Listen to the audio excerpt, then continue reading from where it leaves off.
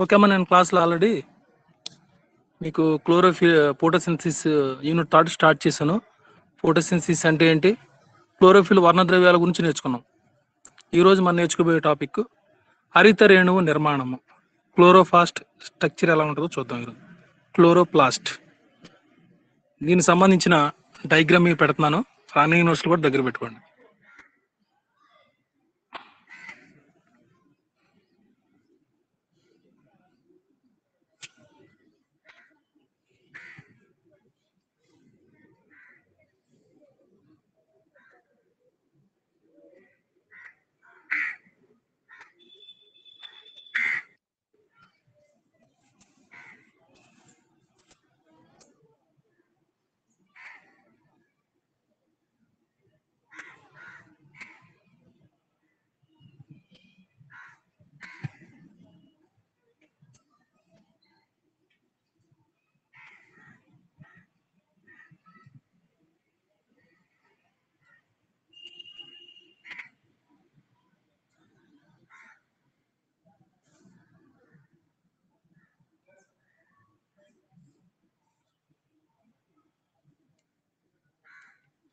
Okay అమ్మ చూడండి అది క్లోరో అరితరేణు నిర్మాణం అనేది ఈ విధంగా మనకు ఉంటుంది. చూడండి ఎలా కనపడుతుందో.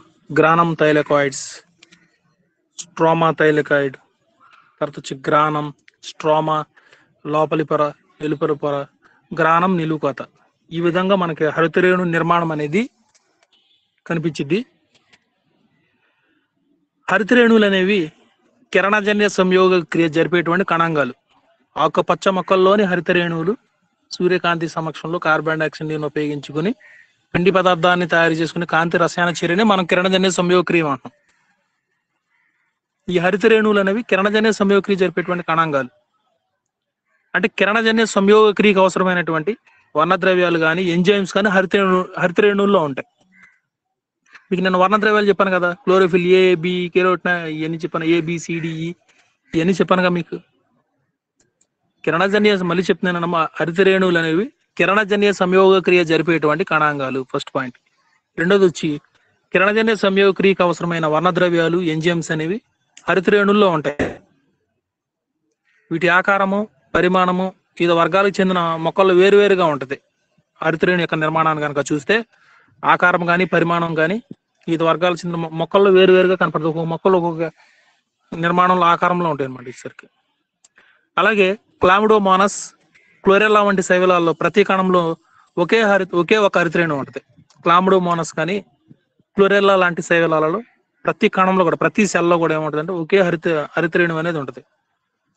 కానీ ఇతర శైవలాల్లోనూ ఆకుపచ్చల ఆకుపచ్చని మొక్కల కణాల్లోనూ హరితరేణువులు ఎలా ఉంటాయి చిన్న పరిమాణం నుండి ఎక్కువ సంఖ్యలో ఉంటాయి అన్నమాట ఇతర శైవలాల్లో కానీ ఆకుపచ్చ మొక్కల కణాల్లో కనుక మనం చూస్తే ఈ హరితరేణువులను చిన్న పరిమాణం నుండి ఎక్కువ సంఖ్యలో ఉంటాయి.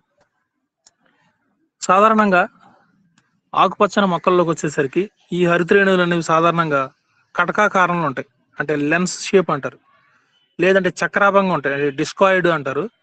లేదా దీర్ఘవృత్తాకారంలో ఉండొచ్చు. ఎలిప్సాయిడల్ అంటారు. ఆకుపచ్చ మొక్కల్లోని హరితరేణులు ఎలా ఉంటాయి? సాధారణ కటకాకారంలో లెన్స్ షేప్లో కానీ చక్రాభం డిస్కాయిడ్ కానీ దీర్ఘవృత్తాకారం ఎలిప్సాయిడల్ కనుక కానీ ఉంటాయి అన్నమాట సుమారు హరితరేణు నిర్మాణం కనుక చూస్తే నాలుగు నుంచి పది మ్యూ పొడవు ఒకటి నుంచి ఆరు మ్యూ మందంతో ఉంటాయి. పొడవు వచ్చేసరికి నాలుగు నుంచి పది మ్యూ పొడవు ఒకటి నుంచి ఆరు మ్యూ మందంతో ఉంటాయి. అలాగే హరితరేణు నిర్మాణాన్ని చూసినప్పుడు ప్రతి హరితరేణువును ఆవరించి రెండు త్వచాలు ఉంటాయి. ఈ రెండు త్వచాలను కలిపి మనం ఏమంటామంటే కవచం అంటారు. రెండు త్వచాలు ఉంటాయి. ఈ రెండు త్వచాలను కలిపి మనం కవచం అంటారు. ఎన్వలప్ అంటాం. ఒక్కొక్క త్వచం వచ్చి నేను చెప్పే కానీ ఒక త్వచం వచ్చి యాభై డిగ్రీల అంగస్టం మందం ఉంటుంది. ఆ రెండు త్వచాల మధ్య ఉన్న స్థలం ఎంత ఉంటుందంటే రెండు వందల డిగ్రీల అంగస్టం ఉంటుంది. అంటే హరితరేణువుల యొక్క కవచం యొక్క మందం ఎంత ఉంటుంది అంటే ఇంచుమించు మూడు వందల అం- అంగస్టం ఉంటుంది అనమాట హరితరేణుల యొక్క కవచం మందం. ఈ త్వచాలు కూడా ఏం చేస్తాయి అంటే ఈ హరితరేణుల త్వచాలు కూడా జీవ త్వచాలు లాగానే లిఫోప్రోటీన్ స్వరూపాన్ని కలిగి మొజాయిక్ నిర్మాణాన్ని చూపిస్తూ ఉంటాయి. మన ప్లాస్మా పొర ఉంది కదా ప్లాస్మా పొర యొక్క ఇదేంటి? అటు నుంచి ఇటు పదార్థాల రవాణా నిష్కర్షణ జరుగుతూ ఉంటుంది కదా ఆ విధంగానే ఉంటుంది అనమాట జీవ త్వచాల లాగానే ఉంటాయి అర్ధరేణులో ఉన్నటువంటి త్వచాలు కూడా. రెండు త్వచాల కవచి ఒక కవచం కవచం అంటాం. ప్రతి త్వచం వచ్చి యాభై డిగ్రీల అంగష్టం మందంలో ఉంటుంది. అంటే రెండు స్థ- రెండు త్వచాల మధ్య ఉన్నటువంటి స్థలం ఎంత ఉంటుంది అంటే రెండు వందల అంగష్టం యూనిట్స్ ఉంటుంది అనమాట హరిత్రేణుల కనకవచ్చు మొత్తం మందం వచ్చి ఎంత ఉంటుంది అంటే మూడు వందల అంగష్టం యూనిట్స్ మందం ఉంటుంది అనమాట ఇవి జీవత్వచాల లాగానే లిఫోప్రోటీన్ నిర్మాణం కలిగినటువంటి ఫ్లూయిడ్ ఫ్లూయిడ్ మొజాయిక్ నిర్మాణాన్ని చూపిస్తాయి అనమాట తర్వాత వచ్చి మనకి అరితిలేణు లోపలి భాగంలో చలనశీలత కలిగినటువంటి ద్రవ భాగాన్ని మనం ఏమంటాం అంటే ఆవర్ణిక అంటాం స్ట్రోమా అంటాం. చూడండి అక్కడ స్ట్రోమా అని చూడండి. ఈ ఫ్లూయిడ్ అంతా కూడా స్ట్రోమా అంటారు.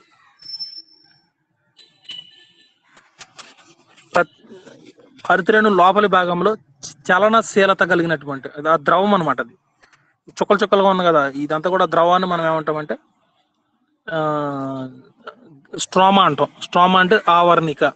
హరితరేణు లోపలి భాగంలో చలనశీలత కలిగినటువంటి ద్రవ భాగాన్ని ఆవర్ణిక అంటాం. ఈ ద్రవ భాగంలో ఏముంటాయి అంటే ఎక్కువగా ప్రోటీన్లు సెవెంటీఎస్ రైబోజోమ్స్ వృత్తాకారంలో ఉండేటువంటి డిఎన్ఏ అణువులు లైపిడ్ గోళాబాలు అంటే లిపిడ్ గ్లోబ్యూల్స్ అంటారు. లైపిడ్ గోళ గోళాబాలు అంటే. ఇవి కాకుండా ఆవర్ణికలో ఒక అంచు నుంచి ఇంకో అంచు వరకు వ్యాపించి ఉండే త్వచాల పట పటలికలు అనేవి సమాంతరంగా అమరి ఉంటాయి అనమాట లామెల్లా అంటాం అని చెప్పేసి. లామెల్లా.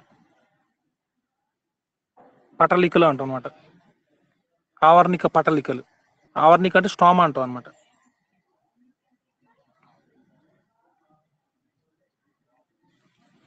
ఎక్కువగా చూడమ్మా మళ్ళీ అరితరేణు లోపల భాగంలో చలనశీలత కలిగినటువంటి చుక్కలు చుక్కలు ఉంది కదా ఈ ద్రావభాగాన్ని మనం స్ట్రామా అంటాం.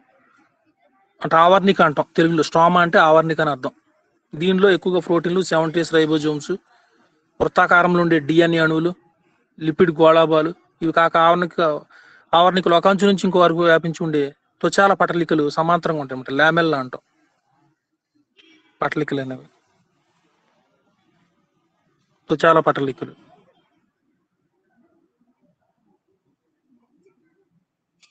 ఈ పట్లకి లోపల భాగం అనేది నీరు లవణాలతో నింపబడి ఉంటుంది. ఈ భాగాన్ని మనం లూమెన్ లేదా లాక్యులస్ అంటాం. లూమెన్ లేదా లాక్యులస్ అని చెప్పేసి అంటాం. ప్రతి పటలిక అనేది పొడవైన బలపరుపుగా ఉండే తిత్తి ఆకారంలో కనపడద్ది. అందువల్ల దీన్ని ఏమంటామంటే మన తైలకాయుడు అంటాం. చూడండి ఎలా కనపడుతుంది చూడండి. ఆ జీవపదార్థాలు ఇంకేమన్నాయి? ముందే చెప్పాను కదా మీకు. సెవెంటీఎస్ రైబోజోమ్స్ ఎక్కువగా ప్రోటీన్లు. మళ్ళీ పాయింట్ కరెక్ట్గానండి హరితరేణు లోపల భాగంలో చలనశీలత కలిగిన ద్రవ భాగాన్ని మనం ఆవర్ణిక అంటే స్ట్రామా అంటాం. ఈ స్ట్రామా లోపల ఏముంటాయి అంటే ప్రోటీ ఎక్కువగా ప్రోటీన్లు సెవెన్ డేస్ రైబోజోమ్స్ ఉత్తాకారం ఉండే డిఎన్ఏ అణువులు లైపిడ్ గోళాబాలు అంతేకాకుండా ఆవర్ణికలు ఒక అంచు నుంచి ఇంకో అంచు వరకు వ్యాపించి ఉండే త్వచాల పటలికలు సమాంతరంగా ఉంటాయి. చూడండి ఈ త్వచాల పటలికలు ఒకదాని మీద ఒకటి సమాంతరంగా ఉంటాయి అన్నమాట.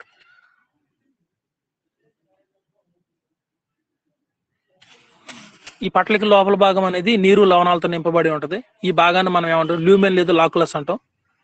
ఈ ప్రతి పటలిక ఎలా ఉందంటే చూడండి. పొడవైన బలపరుకుంటే తిత్తి ఆకారంలో కనపడుద్ది. తిత్తి ఆకారంలో కనపడుతుంది కాబట్టి దీన్ని మనం టైలికార్డ్ అని చెప్పేసి మింకే అనేటువంటి ఆయన పంతొమ్మిది వందల అరవై రెండులో వర్ణించాడు.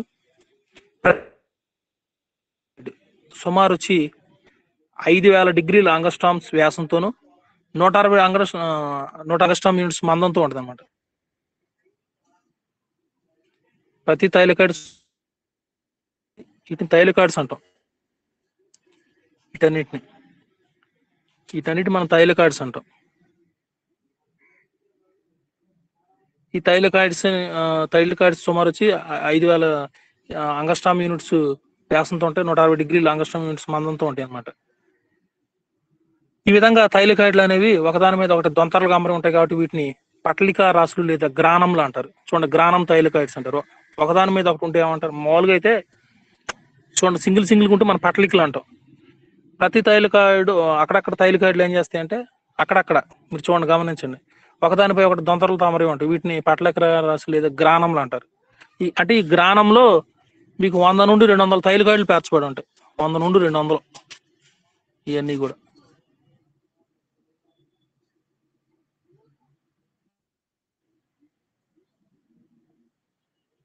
వీటిని గ్రానం తైలికాయిడ్లు అంటే ప్రతి దాంట్లో వంద నుంచి రెండు వందల తైలికాయిడ్లు పేర్చబడి ఉంటాయి అంటే ఈ గ్రానంలో ఉన్న తైలకాయిడ్లు వేరొక గ్రానంలో ఉన్నటువంటి తైలకాయిడ్లతో కలపబడి ఉంటాయి అన్నమాట వీటిని మనం ఆవర్ణిక పటలికలు అని చెప్పేసి అంటాం అనమాట చూడండి దీని నుంచి దీని కలపబడి ఉంటాయి. దీని నుంచి ఇంకోటి ఇలాగా ఎరేజ్ చేస్తున్నాను. ఇంకోండి దీని నుంచి చూడండి దీని ద్వారా ఇలా కలపబడి ఉంటాయి అనమాట ఒకదానితో ఒకటి. ప్రతి గ్రామంలో వంద నుంచి రెండు వందల వరకే తైలికాయిడ్లు ఉంటాయి. ఒక గ్రామంలో ఉన్న తైలికాయిడ్స్ అనేవి వేరొక గ్రామంలో థైలికాయిడ్స్తో కలపబడి ఉంటాయి అనమాట వీటిని మనం ఏమంటామంటే ఆవర్ణిక పటలికలు అని చెప్పేసి అంటాం.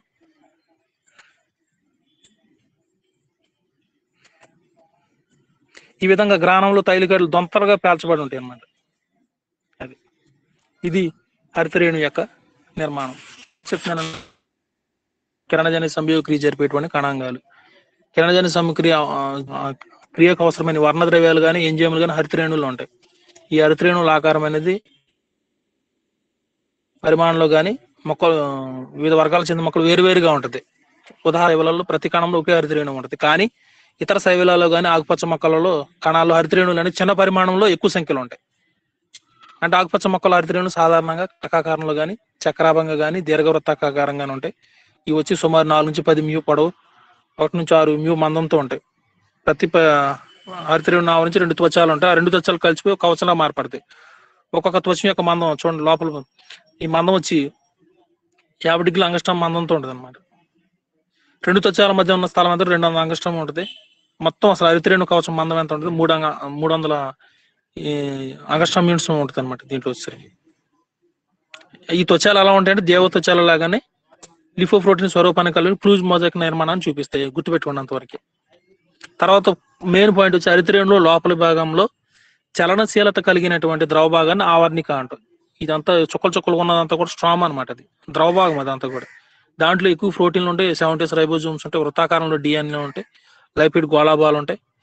ఇవి కాకుండా ఒక అంచు నుంచి ఆవార్నికలు ఒక అంచు నుంచి ఇంకో అంచు వరకు వ్యాపించి ఉండే త్వచాల పటలికలు కూడా సమాంతరంగా ఉంటాయి అన్నమాట. ఈ పట్లికలు సమాంతరంగా అమరి ఉండే రెండు పొరలతో రూపొంది ఉంటాయి అనమాట ఈ పట్లికలు లోపల భాగాలు ఏముంటుంది నీరు ఉంటుంది అనమాట నీరు కానీ లవణాలు కానీ ఉంటాయి అనమాట ఇందులో. ప్రతి పట్లిక ఎలా ఉంటుంది బలపరుగు తిత్తి ఆహారంలో కనపడద్ది. దీన్ని మనం తైలకాయిడ్ అంటాం అనమాట ప్రతి తైలికాడ్ వచ్చేసరికి ఫైవ్ థౌజండ్ అంగస్ట్రామ్ వ్యాసంతోనూ నూట అరవై డిగ్రీ మందంతో ఉంటుంది. అక్కడక్కడ ఏం జరిగింది అంటే తైలికాయలు ఒక దొంతరలుగా అమరి ఉంటాయి. వీటిని పట్లికా రాసులు లేదా గ్రానం తైలకాయిడ్లు అంటారు. ఈ తై ఇప్పుడు గ్రానం ఉందనుకోండి ఆ గ్రానంలో కొన్ని తైలకాయిడ్లు వేరొక గ్రానంలో ఉన్న తైలకాయిడ్లతో కలపబడి ఉంటాయి అనమాట వాటినే మనం ఏమంటామంటే ఆవర్ణిక పటలికలు అంటారు. అంటే స్ట్రామా లామెల్లా అని చెప్పేసి అంటాం అనమాట స్ట్రామ్ అంటే ఒకటే గుర్తుపెట్టుకోండి ఆవర్ణిక అని అర్థం. రేపొద్దున ఆ, తైలకాడ్ యొక్క కొత్త తైలకాడ్ స్ట్రక్చర్ అయిపోయింది. రేపు ఎమర్షన్ ఉద్దికారకం గురించి నేర్చుకుందాం. ఎమర్షన్ ఎన్హాన్స్మెంట్ ఎఫెక్ట్ గురించి మీకు చెప్తాను. తర్వాత వచ్చామా? మీకు కొత్తగా జాయిన్ అయ్యారు. ఆల్రెడీ మీకు విషయం తెలిసే ఉంటది. మీకు బాటనిక్ మేడం వచ్చారు ఝాన్సీ రాణి గారు అని తర్వాత వచ్చి జువాలజీకి సార్ వచ్చారు. సార్ ఇంకా జాయిన్ అవ్వలేదు. రెండు వేల పదహారులో ఉన్న పోస్టులు అవి తీసి రెగ్యులర్ కింద ఇచ్చారు. ఏం అర్థమవుతుందని చెప్పేది?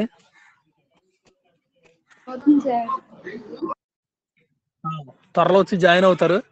తర్వాత సంగతి ఏం జరిగిద్ది అన్నది మనకే తెలియదు సరే అమ్మా. అర్థమైందమ్మా ఇది తైలిక స్ట్రక్చర్ ఆ డయాగ్రామ్ కూడా రఫ్గా వేసుకోండి. సరే సార్. ఓకే. ఉంటా ఉంటానమ్మా.